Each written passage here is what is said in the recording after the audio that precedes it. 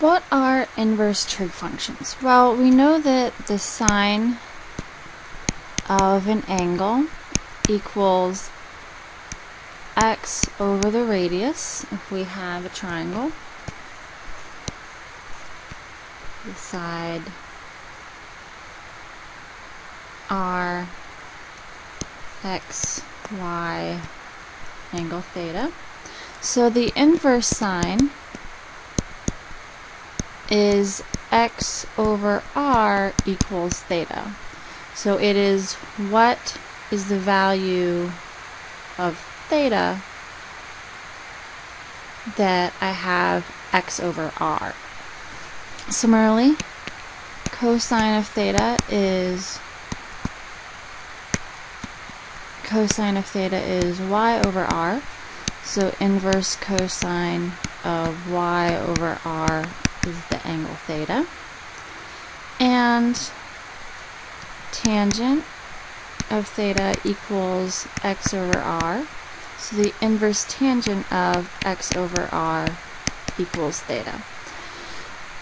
Now we do have to restrict our domains and ranges because our unit circle, when we look around, we have multiple angles that can give us a value so for the inverse sine, we restrict our domain to negative 1 to 1 and our range negative pi over 2 to pi over 2. So if we're looking at our unit circle, that is going to be the right side. For cosine, inverse cosine, we restrict our domain to negative 1 to 1 and our range is 0 to pi, which is the top half of the unit circle. And inverse tangent, the domain is all real numbers and the range is negative pi over 2 to pi over 2. So let's try to evaluate some. So the inverse tangent of negative 1. Well, we're looking for the spot on the unit circle.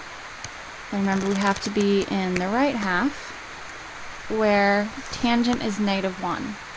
So that means that sine and cosine are the same, but have opposite signs. So where does that happen? Well, that happens at 7 pi over 4.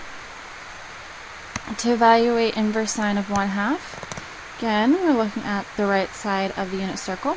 And where does sine equal 1 half? At pi over 6.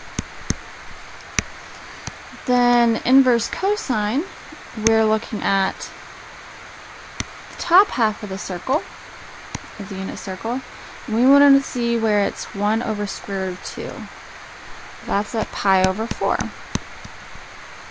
Now sometimes we have numbers that are not so friendly. So inverse sine of 0.64, we want to use a calculator for that. So the inverse sine of 0.64, we want to make sure our mode is in degrees, and that will give us 39.79 and then inverse cosine of 1.5 well let's see what happens when we put that in. We get an error because 1.5 is greater than 1 remember our domain was negative 1 to 1 1.5 is not inside our domain so this value is not defined.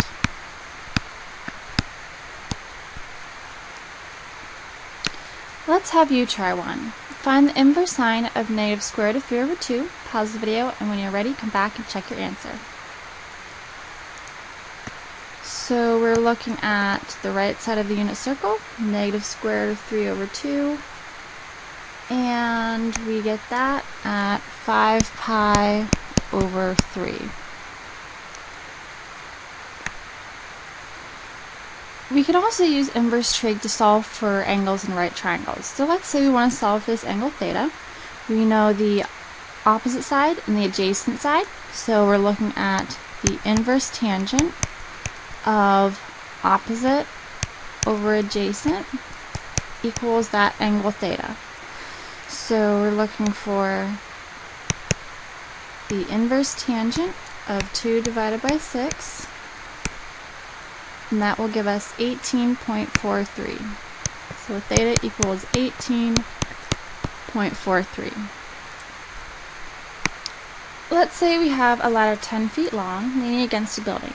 In order to lean against a spot on the building 8 feet up, what must this angle theta be between the ladder and the building? So we can again use inverse trig. We have adjacent over hypotenuse, so that is inverse cosine of adjacent over hypotenuse equals my angle theta. So the inverse cosine of 8 divided by 10, and that is 36 point, round up to 87. And these are in degrees. Let's have you try this one. Go ahead and use inverse trig to find theta, pause, and when you're ready, come back and check. This time we have opposite over hypotenuse, so that's inverse sine of opposite over hypotenuse equals my angle theta. So the inverse sine of 6 divided by 7 gives, and that's going to round up to 59.00. So 59.00 degrees. If we have an inverse trig function inside of another trig function, we can evaluate these using triangles. So first of all, we know that the inverse cosine of 2 thirds equals some angle theta.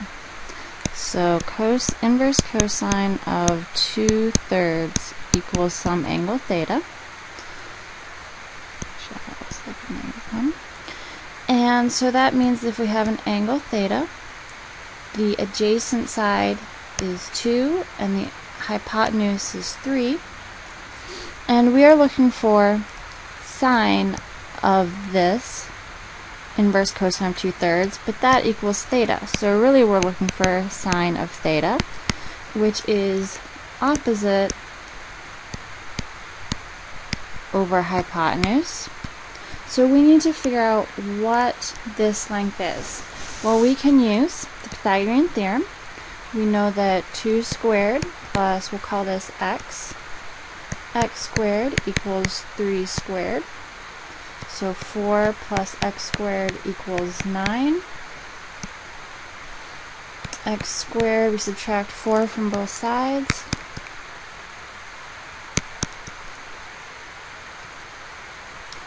So we get x squared equals 5. We take the square root to get x equals plus or minus square root of 5.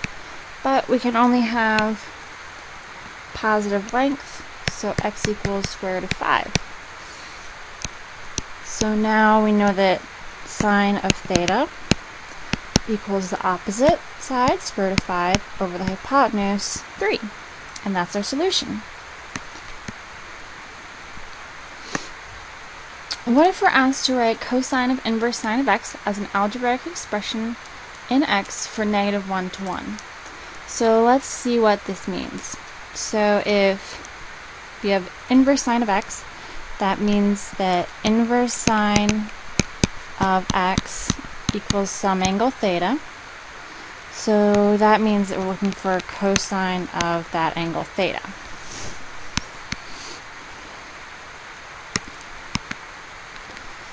So if we draw a triangle,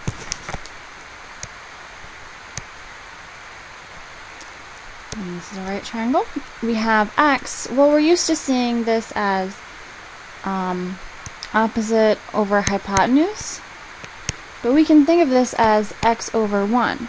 So if this is theta, opposite side is x, and there we have uh, our hypotenuse is 1. So cosine of theta is adjacent over hypotenuse, so we need to find the adjacent side.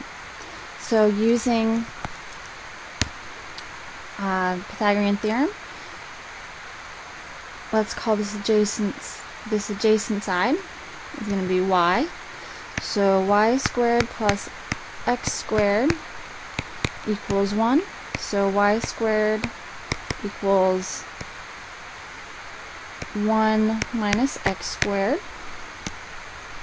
So y equals plus or minus the square root of 1 minus x squared. We need positive length. So y equals square root of 1 minus x squared. So cosine is y over 1. So cosine of theta equals y is 1 minus x squared all over 1. So cosine of theta equals the square root of 1 minus x squared. And that's our solution. Now let's have you try two problems. First, write tangent of inverse sine of 3 sevenths. Go ahead and find that. And then write sine of inverse tangent of x as an algebraic expression in terms of x. Pause the video and come back when you're ready.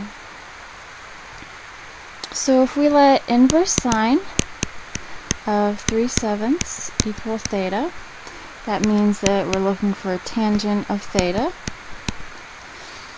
So we draw a triangle. This is our angle theta. We know opposite over hypotenuse. We want adjacent because we need opposite over adjacent. Pythagorean theorem says that x squared plus 3 squared equals 7 squared.